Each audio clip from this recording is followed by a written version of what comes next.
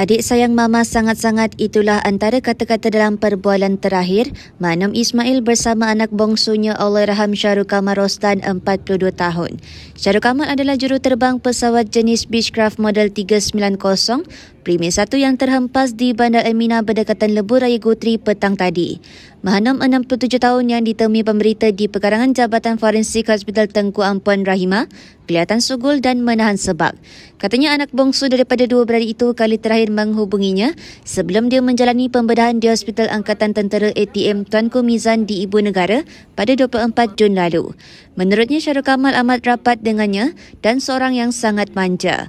Berkongsi mengenai kerjaya anaknya, Mahanum berkata, sebelum menerbangkan jet persendirian, beliau juga pernah bekerja dengan syarikat penerbangan MAS dan Etihad. Katanya dia sekeluarga akan berbincang mengenai urusan pengebumian jenazah arwah dengan keluarga biasanya. Yang itu bila mama dah sihat, adik akan bawa anak-anak adik.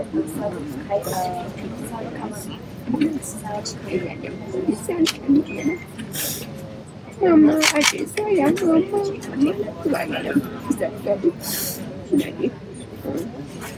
Jadi, saya berdapat mama sayang adik.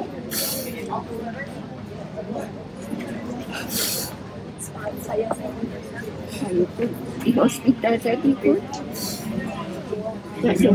Memang rasanya nak mengaji saja dari pagi sampai ke tengah hari saya mengaji. Lepas tu suami saya datang, dia dah tak ada. Ya tu, tak percaya tu. Kata, ya tu. Dia pun menangis. Kalau dia dah menangis dia, dia susah nak menangis. Bila dah menangis, dia memang pasti. Tak betul. Lagi saya pun mahu.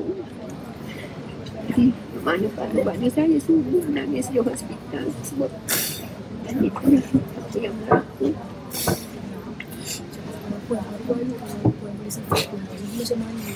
Orangnya baik. Dengan ha, manja. Dengan kawan-kawan memang dia memang memang dia suka menolong kawan-kawan dia. Kalau kawan-kawan dia uh, kata nak pinjam kereta ke, ah, dia bagi dia pinjam kereta. Memang macam tu. Jika kita tahu cik masuk hospital sedekah Oh, saya buat pembedahan. Saya buat pembedahan uh, usus saya. Dan uh, dengan saya punya uh, apa ni? Uh, hempit saya.